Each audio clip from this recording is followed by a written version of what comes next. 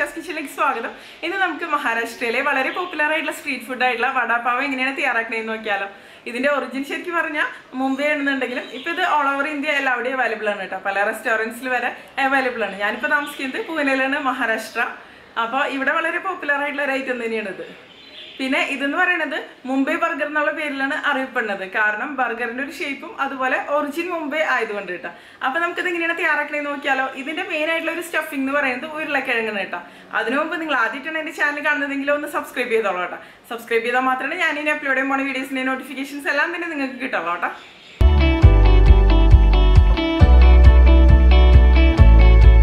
അപ്പൊ നമുക്ക് നല്ല ടേസ്റ്റി ആയിട്ടുള്ള വടാപ്പാവ് എങ്ങനെയാണ് തയ്യാറാക്കണേന്ന് നോക്കാം.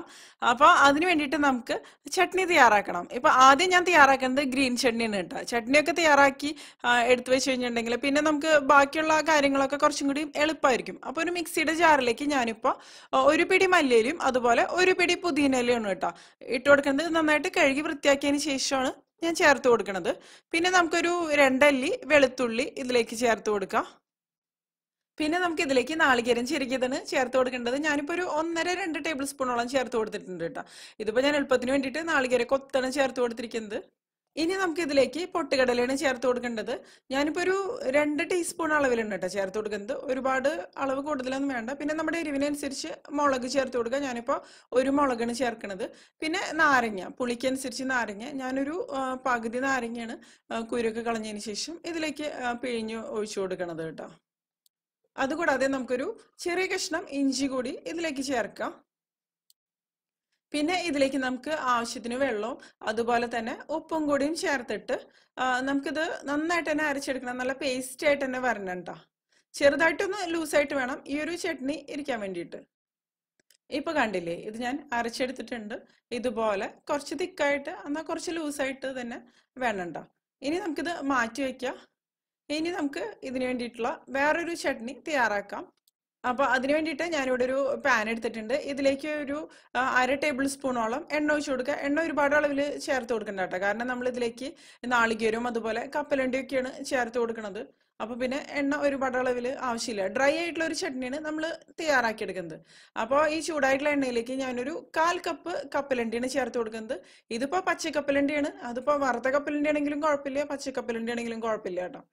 കാരണം ഇപ്പൊ പച്ചക്കപ്പലിന്റെ ആണെന്നുണ്ടെങ്കിലും നമ്മൾ എണ്ണയിലേക്ക് ഇട്ട് കൊടുക്കുമ്പോൾ പെട്ടെന്ന് തന്നെ ഇത് ഫ്രൈ ആയിട്ട് വന്നോളൂ. കണ്ടില്ലേ? ഇതിപ്പോ ഫ്രൈ ആയിട്ട് വന്നിട്ടുണ്ട്. ഇനി ഇതിലേക്ക് നമുക്കൊരു ആറേഴ് വെളുത്തുള്ളി ചേർത്ത് കൊടുക്കാം. നമ്മൾ എടുക്കണ വെളുത്തുള്ളിയുടെ വലിപ്പത്തിനനുസരിച്ചിട്ടാ. വെളുത്തുള്ളിയുടെ ഒരു ഫ്ലേവർ ഇതിലുണ്ടായിരിക്കും. അപ്പൊ അതിനനുസരിച്ച് വെളുത്തുള്ളി നമ്മൾ ഇതിൽ ഒഴിവാക്കാതെ തന്നെ ചേർത്ത് കൊടുക്കാം കേട്ടോ ഇത് മതി. ഇനി ഇതിലേക്ക് ഒരു നാല് വറ്റൽമുളക് കൂടി നമുക്ക് ചേർത്ത് കൊടുക്കാം. നമ്മുടെ എരിവിനനുസരിച്ച് കേട്ടോ. നമ്മൾ തയ്യാറാക്കിയെടുത്ത ഗ്രീൻ ചട്നി ഉണ്ടല്ലോ അതിലൊക്കെ എരിവുണ്ട്. അപ്പോൾ ഒരുപാട് അളവിലൊന്നും എരിവ് ചേർത്ത് കൊടുക്കേണ്ട ആവശ്യമില്ല നമുക്ക്. ഇനി ഇതിലേക്ക് നമുക്ക് നാളികേരം ചേർത്ത് കൊടുക്കുക ഇതിപ്പോ ഒരു കാൽ കപ്പ് നാളികേരം ചെറുകിയെടുത്തതാണ് സാധാരണ രീതിയിൽ ഈ ഒരു ചട്നിയിൽ ഉണക്ക നാളികേരാണ് ഉപയോഗിക്കേണ്ടത്. പക്ഷെ ഞാനിപ്പോൾ എടുത്തിരിക്കുന്നത് പച്ച നാളികേരാണ് കേട്ടോ. സാധാരണ അതായത് നമ്മുടെ നാട്ടിലൊക്കെ സാധാരണ ഉണക്ക നാളികേരം അങ്ങനെ റെസിപ്പീസിനൊക്കെ ഉപയോഗിക്കൽ വളരെ കുറവല്ലേ? അപ്പോൾ ഉണക്ക നാളികേരം ഉണ്ടെന്നുണ്ടെങ്കിൽ നിങ്ങൾക്ക് അത് ഉപയോഗിക്കാം. അല്ലാന്നുണ്ടെങ്കിൽ പച്ച നാളികേരം ഉപയോഗിക്കാം. കുഴപ്പമൊന്നുമില്ല. ഇപ്പൊ എന്റെ കയ്യിൽ ഉണക്ക നാളികേരം ഉണ്ടായിരുന്നില്ല കേട്ടോ അത് കാരണമാണ് ഞാൻ പച്ച നാളികേരം തന്നെ ചേർത്ത് കൊടുക്കുന്നത് ഇവിടെ പക്ഷേ ഈസി ആയിട്ട് കടകളിലൊക്കെ അവൈലബിൾ ആണ്. ഡെസിക്കേറ്റഡ് കോക്കനട്ട് ആണെന്നുണ്ടെങ്കിലും അവൈലബിൾ തന്നെയാണ്. സാധാരണ നോർത്ത് ഇന്ത്യൻസ് ഒക്കെ ഉപയോഗിക്കുന്നതാണല്ലോ ഇപ്പൊ ഇവിടെ ലോക്ക്ഡൌൺ ആയ കാരണമാണ് അവൈലബിൾ അല്ലാതിരിക്കുന്നത് ഇപ്പൊ കണ്ടില്ല ഇതൊന്ന് റോസ്റ്റ് ആയിട്ട് വന്നിട്ടുണ്ട്. ഇത് മതി കേട്ടോ ഇനി നന്നായിട്ട് തന്നെ ഒന്ന് തണുത്ത് വരട്ടെ. അതിനുശേഷമാണ് പിന്നെ നമ്മൾ ബാക്കിയുള്ള പരിപാടികളൊക്കെ ചെയ്യണത്.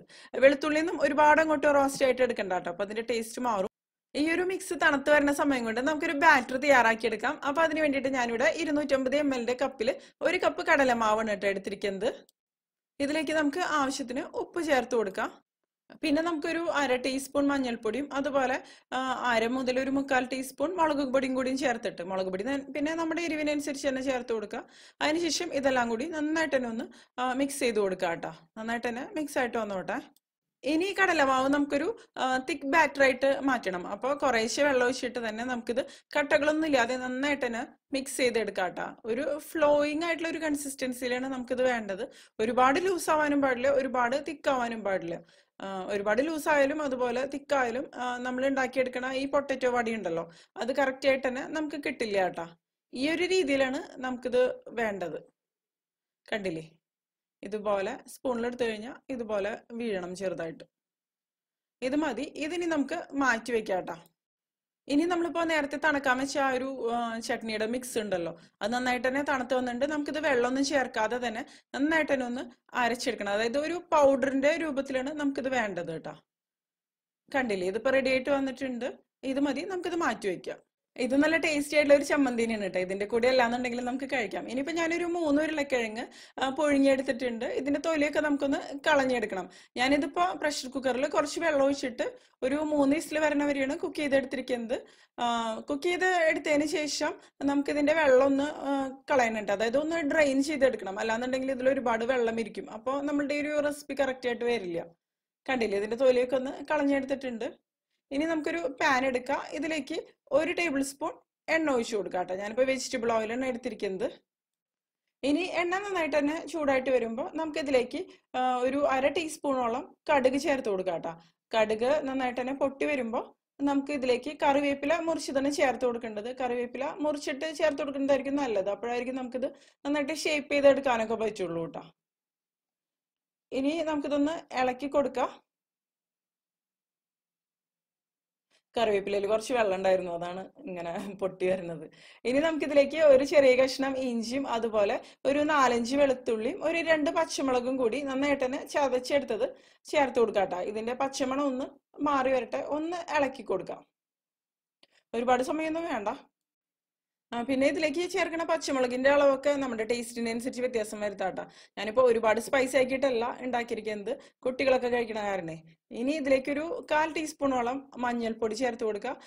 പിന്നെ അര ടീസ്പൂൺ അല്ലാന്നുണ്ടെങ്കിൽ നമ്മുടെ എരിവിനനുസരിച്ചുള്ള മുളക് പൊടിയും കൂടിയും ചേർത്ത് കൊടുത്തിട്ട് നന്നായിട്ട് തന്നെ മിക്സ് ചെയ്ത് കൊടുക്കുക. പിന്നെ ഞാനിവിടെ ചേർത്ത് കൊടുക്കുന്നത് ഡ്രൈ മാംഗോ പൗഡറാണ് അതായത് അംഷൂർ പൗഡർ അത് ഞാൻ ഒരു മുക്കാൽ ടീസ്പൂണോളം അളവിൽ ചേർത്ത് കൊടുക്കുന്നുണ്ട് ഒരു പുളി രസത്തിന് വേണ്ടിയിട്ടാണ്. ഇതില്ലാന്നുണ്ടെങ്കിൽ നിങ്ങൾക്ക് ഇതിന് പകരം നാരങ്ങ നീരാണെങ്കിലും ചേർത്ത് കൊടുക്കാം കേട്ടോ നാരങ്ങ ഒരുപാട് അളവിൽ ചേർക്കണ്ട. ഇനി നമുക്ക് പൊഴിഞ്ഞെടുത്ത ഉരുളക്കിഴങ്ങ് ഇതുപോലെ കയ്യിൽ വെച്ചിട്ട് ചെറുതായിട്ട് ചെറുതായിട്ടൊന്ന് പൊടിച്ചിട്ട് കൊടുത്താൽ മതി. ഒരുപാട് അങ്ങോട്ട് മാഷ് ചെയ്തെടുക്കണ്ട. ഒരുപാട് അങ്ങോട്ട് നമ്മൾ ഈ ഉരുളക്കിഴങ്ങ് മാഷ് ചെയ്തെടുത്തു കഴിഞ്ഞാൽ നമുക്കിത് ഉരുട്ടിയെടുക്കാൻ ബുദ്ധിമുട്ടായിരിക്കും. അപ്പോൾ ഇങ്ങനെ തന്നെ മതി കേട്ടോ ചെറിയ കട്ടകളൊക്കെ പോലെ അതുപോലെ തന്നെ കിടന്നോട്ടെ. പക്ഷെ കുഴപ്പമില്ല. നമ്മളത് ഷേപ്പ് ചെയ്തെടുക്കുമ്പോൾ കറക്റ്റ് ആയിട്ട് തന്നെ വന്നോളൂ കേട്ടോ പണ്ടൊക്കെ ഞാൻ ഈ ഒരു എന്താ പറയാ വടാപ്പാവ് തയ്യാറാക്കുന്ന സമയത്ത് വട തയ്യാറാക്കി എടുക്കുമ്പോൾ ഉരുളക്കിഴങ്ങൊക്കെ ഒരുപാട് മാഷ് ചെയ്തെടുക്കുമ്പോൾ നല്ല ബുദ്ധിമുട്ടായിരുന്നു നമുക്ക് ഷേപ്പ് ചെയ്തെടുക്കാനും. പിന്നെ എന്താ പറയാ ഈ ഒരു ബാറ്ററിൽ ഡിപ്പ് ചെയ്തെടുക്കാനൊക്കെ കുറച്ച് ബുദ്ധിമുട്ടായിരുന്നു. അപ്പൊ ഇങ്ങനെയാണെന്നുണ്ടെങ്കിൽ നല്ല പെർഫെക്റ്റ് ആയിട്ട് തന്നെ വരും. ഇനി ഒരു കാൽ ടീസ്പൂൺ കായം കൂടി കായത്തിന്റെ പൊടിയാണ് ഞാൻ ചേർക്കുന്നത് അതും കൂടി ഇതിലേക്ക് ചേർത്ത് കൊടുക്കുക പിന്നെ നമ്മുടെ ടേസ്റ്റിനനുസരിച്ചുള്ള മല്ലിയില ഞാനൊരു കാൽ കപ്പോളം മല്ലിയിലയാണ് ഇതിലേക്ക് ചേർത്ത് കൊടുക്കുന്നത്. ഉം, മല്ലിയിലയുടെ ടേസ്റ്റ് ഇഷ്ടമില്ല എന്നുണ്ടെങ്കിൽ ഇത് സ്കിപ്പ് ചെയ്യാം കേട്ടോ. ഇനി എല്ലാം കൂടി ഒന്ന് മിക്സ് ചെയ്ത് കൊടുക്കുക. കട്ടകൾ കംപ്ലീറ്റ് ആയിട്ട് അതായത് ചെറിയ കട്ടകളൊക്കെ പോലെ കെടുക്കുന്നുണ്ടല്ലോ ഉരുളക്കിഴങ്ങ്. അത് മുഴുവനായിട്ട് അങ്ങോട്ട് ഉടച്ചെടുക്കണ്ട. ചെറിയ കഷ്ണങ്ങളൊക്കെ പോലെ കിടന്നോട്ടെ. ഇനി ആവശ്യത്തിന് ഉപ്പും കൂടിയും ചേർത്ത് നമുക്കിത് നന്നായിട്ട് തന്നെ ഒന്ന് മിക്സ് ചെയ്തെടുക്കാം. കണ്ടില്ലേ? ഓൾറെഡി ഉരുളക്കിഴങ്ങ് ഡ്രൈ ആയിട്ട് തന്നെയായിട്ട് ആയിരുന്നു ഇരിക്കണ്ടായിരുന്നത്. ഇപ്പൊ ഒന്നും കൂടി ഡ്രൈ ആയിട്ട് തന്നെ വന്നിട്ടുണ്ട് കേട്ടോ. കണ്ടില്ലേ? ഇതുപോലെ ഇരിക്കണം. ഇനി ഇത് നമുക്ക് ഫ്ലെയിം ഓഫ് ചെയ്ത് കൊടുക്കാം. അതിനുശേഷം ഇത് നന്നായിട്ട് തന്നെ ഒന്ന് തണുത്ത് വരട്ടെ കേട്ടോ. അതിനുശേഷം നമുക്കിത് ബോൾസ് ആക്കി എടുക്കണം. ഇനി നമുക്ക് ചെറിയ ചെറിയ ബോൾസ് ആക്കി ഇത് മാറ്റാം. നമ്മുടെ പാവബണ്ണിന്റെ ഉള്ളിൽ വെക്കാവുന്ന ആ ഒരു സൈസിലാണ് നമ്മൾ ഇത് ഉരുട്ടി എടുക്കേണ്ടത് കേട്ടോ. പതുക്കെ ഒന്ന് കൈവച്ചിട്ടൊന്ന് ഉരുട്ടി ഉരുട്ടിയെടുക്കാം കേട്ടോ. ഈ ഒരു രീതിയിൽ.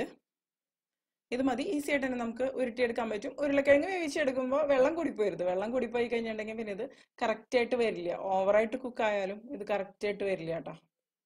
കണ്ടില്ലേ? ഇപ്പൊ നല്ല പെർഫെക്റ്റ് ആയിട്ട് തന്നെ നമുക്ക് ഉരുട്ടിയെടുക്കാൻ പറ്റുന്നുണ്ട്. ഇപ്പൊ എല്ലാം ഞാൻ ഉരുട്ടിയെടുത്തിട്ടുണ്ട് കേട്ടോ. ഇനി ഇത് മാറ്റി വെക്കാം ഇനി നമുക്കിതൊന്ന് വറുത്തെടുക്കാം. അപ്പൊ അതിന് വേണ്ടിയിട്ട് ഞാനൊരു പാനിലേക്ക് വറുക്കാൻ ആവശ്യത്തിന് എണ്ണ ഒഴിച്ചു കൊടുക്കുകയാണ് പിന്നെ നമ്മൾ നേരത്തെ തയ്യാറാക്കി വെച്ച ഒരു ബാറ്റർ ഉണ്ടല്ലോ അതിലേക്ക് കുറച്ച് ബേക്കിംഗ് സോഡ കൂടി ചേർത്തിട്ട് നമുക്ക് നന്നായിട്ടൊന്ന് മിക്സ് ചെയ്ത് കൊടുക്കുക ഒരു രണ്ട് നുള്ളൊക്കെ മതി കേട്ടോ ബേക്കിംഗ് സോഡ ബേക്കിംഗ് സോഡയുടെ അളവൊന്നും കൂടി പോകേണ്ട ആവശ്യമില്ല. ഇപ്പൊ കറക്റ്റ് ആയിട്ട് തന്നെ ഒന്ന് മിക്സ് ആയിട്ട് വന്നിട്ടുണ്ട്. ഇനി നമുക്ക് നമ്മൾ തയ്യാറാക്കി വെച്ച ഈ ഉരുളക്കിഴങ്ങിന്റെ ഓരോ ബോൾസ് ഉണ്ടല്ലോ അത് ഈ ബാറ്ററിൽ ഒന്ന് ഇതുപോലെ ഒന്ന് മുക്കിയെടുക്കുക നന്നായിട്ടൊന്ന് കോട്ടായിട്ട് വരണം. അതിനുശേഷം എക്സസ് ആയിട്ടുള്ള ആ ഒരു ബാറ്ററൊക്കെ ഒന്ന് ഇതുപോലെ ഒന്ന് മാറ്റിയതിന് ശേഷം നമുക്ക് ഈ നന്നായിട്ട് തിളച്ച എണ്ണയിലേക്ക് ഇട്ടിട്ട് ഫ്രൈ ചെയ്തെടുക്കണം. ഇതുപോലെ തന്നെ എല്ലാം ബോൾസും ചെയ്തെടുക്കാം കേട്ടോ. കണ്ടില്ലേ? ഈ ഒരു ബാറ്ററിന്റെ കൺസിസ്റ്റൻസി കറക്റ്റ് ആവണം. അപ്പോഴായിരിക്കും നമുക്ക് നല്ല പെർഫെക്റ്റ് ആയിട്ട് തന്നെ തയ്യാറാക്കി എടുക്കാൻ പറ്റുക. ഞാനിപ്പോൾ എല്ലാം ഇതുപോലെ തന്നെ ഒന്ന് എണ്ണയിൽ ഇട്ട് കൊടുക്കട്ടെ. ഈസി ആയിട്ട് തന്നെ നമുക്കിത് ചെയ്തെടുക്കാൻ പറ്റും. ഇനി ഇത് നമുക്ക് തിരിച്ചു മറിച്ചിട്ടിട്ട് തന്നെ ഫ്രൈ ചെയ്തെടുക്കുക ഒരു ഭാഗം ചെറുതായിട്ടൊന്ന് ഫ്രൈ ആയിട്ട് വരട്ടെ കേട്ടോ ഞാൻ ഇത് ഇട്ട് കൊടുക്കുന്ന സമയത്ത് ഹൈ ഫ്ലെയിമിൽ തന്നെയായിരുന്നു വെച്ച് കൊടുത്തിരുന്നത്. പിന്നെ ഇട്ട് കൊടുത്തതിന് ശേഷം ഞാനിതിപ്പോൾ മീഡിയം ഫ്ലെയിമിലാണ് കേട്ടോ വെച്ച് കൊടുത്തിരിക്കുന്നത്.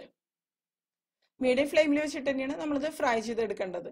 അപ്പോഴായിരിക്കും കറക്റ്റായിട്ട് നന്നായിട്ട് തന്നെ കുക്കായിട്ട് വരിക കേട്ടോ കണ്ടില്ലേ? ഇത് തിരിച്ചു മറിച്ചിട്ടിട്ടൊന്ന് ഫ്രൈ ചെയ്തെടുക്കാം. നന്നായിട്ട് തന്നെ ഒന്ന് ഫ്രൈ ആയിട്ട് വരട്ടെ. ഇപ്പൊ കണ്ടില്ലേ ഇത് ആവശ്യത്തിന് തന്നെ ഒന്ന് ഫ്രൈ ആയിട്ട് വന്നിട്ടുണ്ട്. ഇതിന്റെ കളറൊക്കെ ചെറുതായിട്ട് ഇതുപോലെ ഒന്ന് മാറി വരും. ഒരു ഗോൾഡൻ ഷെയ്ഡിലേക്ക് വരും. ഇനി നമുക്കിത് എല്ലാം ഒന്ന് കോരി മാറ്റുക അതിനുശേഷം ഒരു കിച്ചൺ ഡിഷിലേക്കോ അല്ലെങ്കിൽ ഒരു സ്ട്രെയിനറിലേക്കോ ഇട്ട് കൊടുക്കാം കേട്ടോ. കണ്ടില്ലേ? റെഡി ആയിട്ടുണ്ട്. ഇതുപോലെ തന്നെ നമുക്ക് എല്ലാം ഫ്രൈ ചെയ്തെടുക്കാം. നേരത്തെ നമ്മൾ ചെയ്ത ആ ഒരു രീതിയിൽ തന്നെ. ഞാനിനിപ്പോൾ എല്ലാം ഫ്രൈ ചെയ്തെടുത്തതിന് ശേഷം കാണിക്കാം കേട്ടോ. കണ്ടില്ലേ? കറക്റ്റ് ആയിട്ട് തന്നെ ഫ്രൈ ആയിട്ട് വരുന്നുണ്ട്. അതിനുശേഷം ഈ ബാക്കിയുള്ള ഒരു ബാറ്റർ ഉണ്ടല്ലോ അതൊരു സ്പൂൺ വെച്ചിട്ട് ഈ ഒരു എണ്ണയിലേക്ക് ഞാനിപ്പോൾ കോരി ഒഴിച്ചിട്ട് ഫ്രൈ ചെയ്തെടുക്കണം. ചില ഷോപ്സിൽ നിന്നൊക്കെ നമ്മൾ ഈ വടാപ്പാവ് കഴിക്കുന്ന സമയത്ത് ഇതുപോലെ ഈ ബാറ്റർ ഫ്രൈ ചെയ്ത് എടുത്തതും ഈ വടാപ്പാവിന്റെ ഉള്ളിൽ ഉണ്ടാവാറുണ്ട് അപ്പോൾ ഇത് വേണമെന്നുണ്ടെങ്കിൽ നിങ്ങൾക്ക് ഇങ്ങനെ ചെയ്യാം. ഇതിപ്പോ ചെയ്തില്ലെങ്കിലും കുഴപ്പമില്ല. നമ്മുടെ ഇഷ്ടം ഉണ്ടോ ഞാനിപ്പോൾ ഇതും കൂടി വെച്ചിട്ടാണ് വടാപ്പാവ് തയ്യാറാക്കി എടുക്കുന്നത് ഇനി നമുക്കിത് തിരിച്ചു മറിച്ചിട്ടിട്ടൊന്ന് ചെറുതായിട്ടൊന്ന് ക്രിസ്പി ആവണ ഒരു രീതിയിൽ ഫ്രൈ ചെയ്തെടുക്കാം കേട്ടോ. ഇതിപ്പോൾ റെഡി ആയിട്ടുണ്ട്. പെട്ടെന്ന് തന്നെ റെഡി ആയിട്ട് വരും. കണ്ടില്ലേ? ഇതിനിപ്പോ കോരി മാറ്റാം നമുക്ക്. ഇനി നമുക്ക് വേണ്ടതെന്ന് പറഞ്ഞു കഴിഞ്ഞാൽ ഞാൻ പച്ചമുളകാണ് എടുത്തിരിക്കുന്നത്. പച്ചമുളക് ഇതിന്റെ നെടുകി ഒന്ന് കീറി എടുത്തിട്ടുണ്ട് അതായത് മുഴുവനായിട്ട് അങ്ങോട്ട് കയറിയിട്ടില്ല ചെറിയൊരു ഭാഗം വെച്ചിട്ട് അതായത് കീറിയെടുക്കണം. അത് നമുക്ക് തിളച്ച എണ്ണയിലിട്ടിട്ട് ഫ്രൈ ചെയ്തെടുക്കണം. അപ്പോൾ തിളച്ച എണ്ണയിലിട്ടിട്ട് ഇതുപോലെ ഫ്രൈ ചെയ്തെടുക്കുമ്പോൾ ഈ പച്ചമുളകിന് എരിവ് വളരെ കുറവായിരിക്കും. അപ്പോൾ ഈ പച്ചമുളകും കൂടി വെച്ചിട്ടാണ് നമ്മൾ വടാപ്പാവ് സാധാരണ കഴിക്കുക. ഷോപ്സിലൊക്കെ പോകുമ്പോൾ സാധാരണ അങ്ങനെയാണ് കിട്ടുക. അപ്പോൾ പച്ചമുളക് താല്പര്യമുള്ളവർക്ക് അതും കൂടി വെച്ച് ചേർത്ത് കഴിക്കാം. അപ്പോഴായിരിക്കും അതിന്റെ ഒരു റിയൽ ആയിട്ടുള്ള ഒരു ടേസ്റ്റ് വരിക. താല്പര്യമില്ലാത്തവർക്ക് ഇത് സ്കിപ്പ് ചെയ്യാട്ടോ ഞാനിപ്പോ മൂന്നാലിലൊന്ന് ഇതുപോലെ ഫ്രൈ ചെയ്തെടുക്കാണ്. ഇപ്പൊ ഇത് കറക്റ്റ് ആയിട്ട് തന്നെ ഫ്രൈ ആയിട്ട് വന്നിട്ടുണ്ട് കേട്ടോ. ഇനിയിപ്പോ ഞാൻ പാവബണ്ണാണ് എടുത്തിരിക്കുന്നത്. ഇത് നമുക്ക് ഷോപ്സിലൊക്കെ സാധാരണ കിട്ടും. എനിക്ക് തോന്നുന്നു ഇപ്പൊ നാട്ടിലൊക്കെ അവൈലബിൾ ആണെന്ന് തോന്നുന്നുണ്ട്. എനിക്ക് കറക്റ്റ് ആയിട്ട് അറിയില്ല. അല്ലാന്നുണ്ടെങ്കിൽ നമുക്കിത് ഈസി ആയിട്ട് വീട്ടിൽ തയ്യാറാക്കാൻ പറ്റും. അപ്പൊ ഇത് തയ്യാറാക്കണ വീഡിയോ വേണമെന്നുണ്ടെങ്കിൽ നിങ്ങൾ ചോദിച്ചു കഴിഞ്ഞാൽ ഞാൻ അതിന്റെ റെസിപ്പിയുടെ വീഡിയോ അപ്ലോഡ് ചെയ്യാം അപ്പൊ കണ്ടില്ലേ ഇതുപോലെ ഓരോന്നോരോന്ന് സെപ്പറേറ്റ് ചെയ്തെടുക്കുക. അതിനുശേഷം ഓരോന്നും നമ്മൾ കട്ട് ചെയ്തെടുക്കുക. ഇതിന്റെ മിഡിൽ വെച്ചിട്ട്. നമ്മൾ സാധാരണ ബർഗറൊക്കെ കട്ട് ചെയ്യില്ലേ? ആ ഒരു രീതിയിൽ തന്നെ കട്ട് ചെയ്തെടുക്കാം കേട്ടോ കണ്ടില്ലേ? ഇപ്പൊ ഞാൻ ഇതുപോലെ ഒന്ന് കട്ട് ചെയ്തിട്ടുണ്ട്. ഇനി നമുക്ക് ഇതിലാണ് നമ്മൾ ചട്നിയും ബാക്കി കാര്യങ്ങളൊക്കെ വെച്ച് കൊടുക്കുന്നത് അപ്പൊ ഇനി നമ്മൾ നേരത്തെ അരച്ചെടുത്ത ആ ഒരു ഗ്രീൻ ചട്നി ഇതിലൊന്ന് സ്പ്രെഡ് ചെയ്ത് കൊടുക്കാം കേട്ടോ ഗ്രീൻ ചട്നി ഇല്ലാതെയും ചില ഒരു വടാപ്പാവ് തയ്യാറാക്കാറുണ്ട്. പക്ഷെ ഗ്രീൻ ചട്നിയും കൂടിയും വെക്കുമ്പോൾ കുറച്ചും കൂടിയും ടേസ്റ്റി ആയിട്ട് തന്നെ വരും കേട്ടോ പിന്നെ നമ്മൾ കപ്പലണ്ടിയും നാളികേരമൊക്കെ ചേർത്തിട്ട് തയ്യാറാക്കിയ ആ ഒരു ഡ്രൈ ചട്നിയും കൂടി നമുക്ക് ഇതിലേക്ക് വെച്ച് കൊടുക്കാം. ചട്നിന്നോ ചമ്മന്തിന്നോ എന്ത് വേണമെന്നുണ്ടെങ്കിലും പറയാം. പിന്നെ ഉരുളക്കിഴങ്ങിന്റെ ആ ഒരു വാടയും കൂടിയും ഇതിലേക്ക് വെച്ച് കൊടുക്കുക. അതിനുശേഷം പതുക്കെ ഒന്ന് പ്രസ് ചെയ്ത് കൊടുക്കുക. അപ്പോഴായിരിക്കും ഇത് കറക്റ്റ് ആയിട്ട് ഇരിക്കുക. അല്ലാന്നുണ്ടെങ്കിൽ ഈ വട ഇങ്ങനെ പൊങ്ങിയല്ലേ ഇരിക്കുള്ളൂ. കണ്ടില്ലേ? പിന്നെ ഇതിന്റെ മുകളിൽ നമുക്ക് ആ ഡ്രൈ ആയിട്ടുള്ള ചട്നി ഉണ്ടല്ലോ. കോക്കനട്ട് ചട്നി അല്ലാന്നുണ്ടെങ്കിൽ കപ്പലണ്ടി ഉപയോഗിച്ചിട്ടുള്ള ചട്നി എന്നൊക്കെ പറയും. അതും കൂടിയും വെച്ച് കൊടുക്കുക. പിന്നെ ഒരു പച്ചമുളകും കൂടിയും വെക്കാം. പിന്നെ നമ്മൾ ആ ഒരു ബാറ്റർ ഫ്രൈ ചെയ്തെടുത്തില്ലേ അതും കൂടി ഇതിന്റെ ഉള്ളിൽ വെക്കുന്നുണ്ട് ഞാൻ ആദ്യം തയ്യാറാക്കിയതിൽ വെച്ച് കൊടുത്തിരുന്നില്ല. രണ്ടാമത് തയ്യാറാക്കണേൽ ഞാൻ വെക്കുന്നുണ്ട് അപ്പൊ നല്ല ടേസ്റ്റി ആയിട്ടുള്ള ഒരു ഐറ്റം തന്നെയാണ് ഇട്ടത്. ഇതുവരെ കഴിച്ചിട്ടില്ല എന്നുണ്ടെങ്കിൽ ഇതുവരെ തയ്യാറാക്കി നോക്കിയിട്ടില്ല എന്നുണ്ടെങ്കിൽ ട്രൈ ചെയ്ത് നോക്കാവുന്ന നല്ലൊരു ഐറ്റം തന്നെയാണ്. നല്ല ചൂടോടുകൂടി തന്നെ നമുക്ക് കഴിച്ചു കഴിഞ്ഞാൽ വടയൊക്കെ നല്ല ടേസ്റ്റി ആയിട്ട് തന്നെ ഇരിക്കും. പിന്നെ ഇതിലേക്ക് ചില ഒരു ടാമറിൻ ചട്നി കൂടി വെച്ച് കൊടുക്കാറുണ്ട്. പക്ഷെ സാധാരണ രീതിയിൽ ഇങ്ങനെ തന്നെയാണ് കേട്ടോ തയ്യാറാക്കി എടുക്കുക. അപ്പൊ നമ്മുടെ നല്ല ടേസ്റ്റി ആയിട്ടുള്ള വടാപ്പാവ് റെഡി ആയിട്ടുണ്ട്. അപ്പോൾ എല്ലാവരും തയ്യാറാക്കിയതിന് ശേഷം നിങ്ങളുടെ അഭിപ്രായങ്ങളൊക്കെ ഒന്ന് പറഞ്ഞോളൂ കേട്ടോ. കണ്ടില്ലേ? നല്ല അടിപൊളിയായിട്ട് തന്നെ വന്നിട്ടുണ്ട് കേട്ടോ. നിങ്ങൾക്ക് എന്റെ വീഡിയോ ഇഷ്ടമാക്കുകയാണെങ്കിൽ നിങ്ങളുടെ ഫ്രണ്ട്സിനും ഫാമിലിക്കൊക്കെ ഒന്ന് ഷെയർ ചെയ്ത് കൊടുത്തോളൂ കേട്ടോ. അതുകൂടാതെ നിങ്ങളുടെ വലിയ അഭിപ്രായങ്ങളൊക്കെ ഒന്ന് കമന്റ് ചെയ്യുക. അപ്പം മറ്റൊരു അടിപൊളി റെസിപ്പി നമുക്ക് വീണ്ടും കാണാം.